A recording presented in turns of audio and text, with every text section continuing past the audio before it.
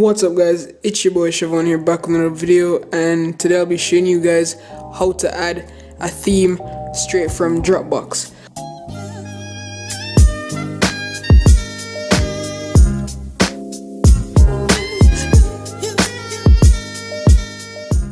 So straight off the bat, let me just jump into this, no wasting of time. So obviously you want to go to Dropbox. This is basically how to port any theme so as you can see I've installed this theme right here. It's called Poly Candy Cons. So what I do to install this theme is that I hit these three icons at the top. Then I go to export. After that I choose open in. Then I simply copy it to my file manager which is Filza of course.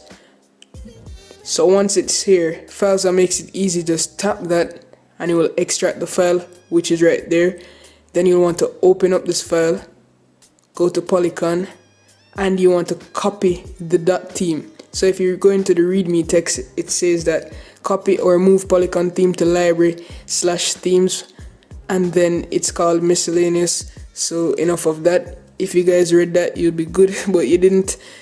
So you just want to tap that move and it will copy it back out and go to the first page so we're at slash which is the first page.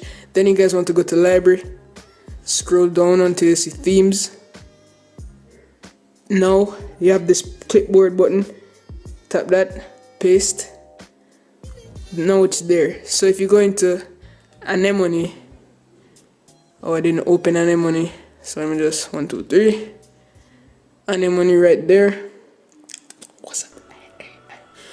Anyways as you can see we have the theme chilling right down here. So you just want to enable that theme.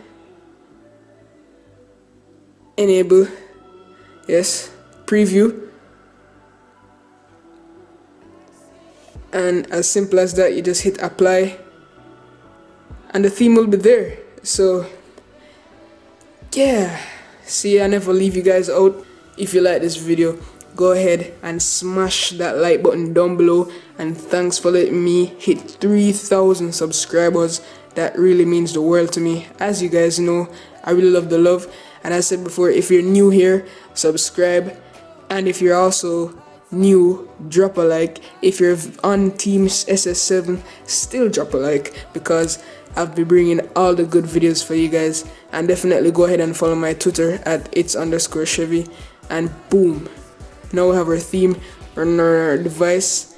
As always, love, peace, and tweaks. Signing out.